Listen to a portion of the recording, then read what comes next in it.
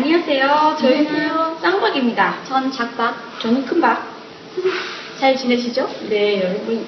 어, 저희 쌍박이 저기 1회가 나왔는데 어떻게 보셨는지 모르겠어요. 저희 이제 2회도 곧 나오죠?